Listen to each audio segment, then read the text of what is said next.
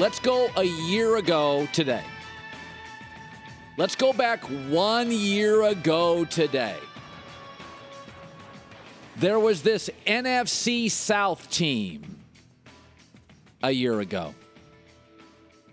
High on emotion. The media was falling for.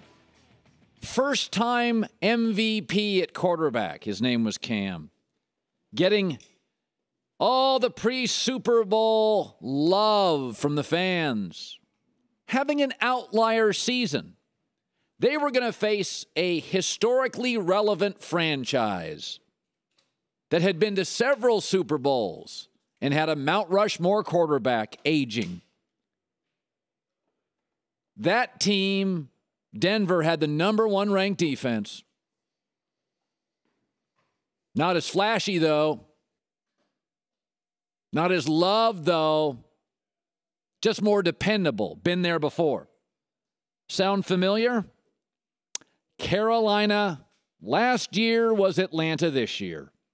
An NFC South team, high in emotion, media falling for, really great on one side of the ball with a first time MVP at quarterback, having an outlier season, going to face a dominant, historic franchise with a Mount Rushmore quarterback on his last few legs.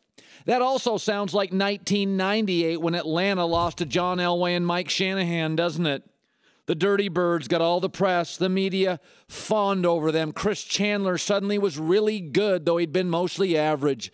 Atlanta then was facing an aging Elway, his offensive coordinator, a young emerging head coaching candidate, Gary Kubiak. Who's Tom's coordinator? A young, energetic head coaching candidate, Josh McDaniels. Oh, these adorable franchises having their outlier seasons solid quarterbacks having an outlier great year. Fans are rabid. They come up with slogans like rise up.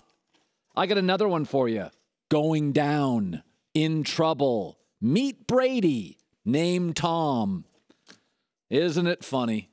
A year ago today, exact same thing. Exact same thing.